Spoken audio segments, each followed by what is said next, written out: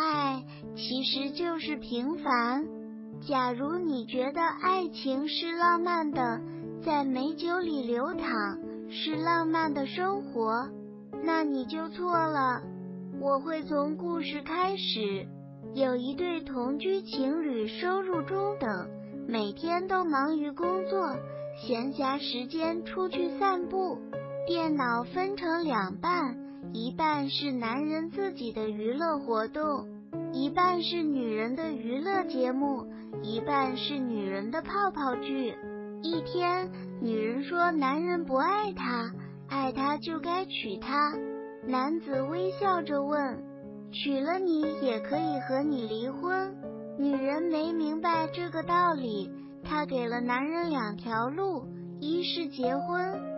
二是离开，原来那个人走了，他什么也没说。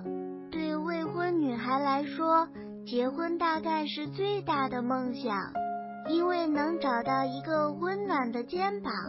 但是对已经结婚的女人来说，结婚大概就是一场围城，要结束那种保姆式的生活。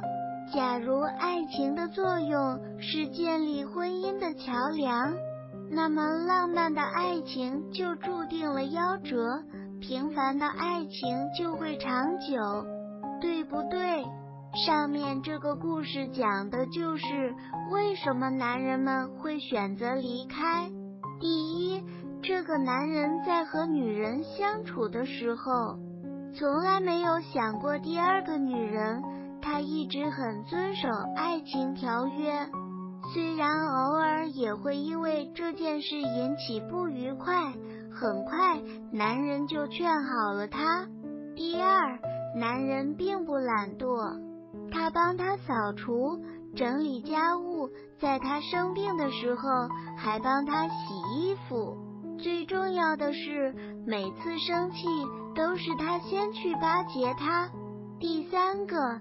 就是男人的自信，他是个雄心壮志的人，他所做的一切都没有得到他的理解和支持，长痛不如短痛，所以他走了。那什么是爱情？却是平凡，上下班做家务，洗个澡，在第二天出门前关心对方的衣着和形象问题。生病的时候赶紧去抓药，这就是爱。想起一对热恋中的女孩，因为情人节没有收到男孩的花，要去自杀。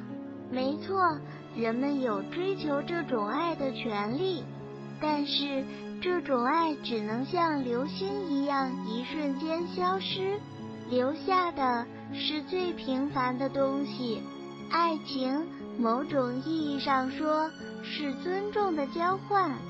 假如女人在厨房做饭，而男人在电视机前看电视，吃饭后又换成女人在上网，男人洗碗，这种爱也许会持久一些。如果女人不选礼物，而选择多给男人一点空间，想必男人会很心疼似的。意外的送他一些礼物。如果女人把怀疑用在信任上，根本就不会再找第二个女人。它是一种尊重的交换。当达到一定的比例时，男人和女人就能和睦相处。许多人把爱想象的多么神圣，把日常生活看作命运的消极时刻，其实就是如此。意念是一片湖水，是一片潮水，一个是永远不变的平静，另一个是浪涛汹涌，来去匆匆。爱情没有永恒，只有白头到老。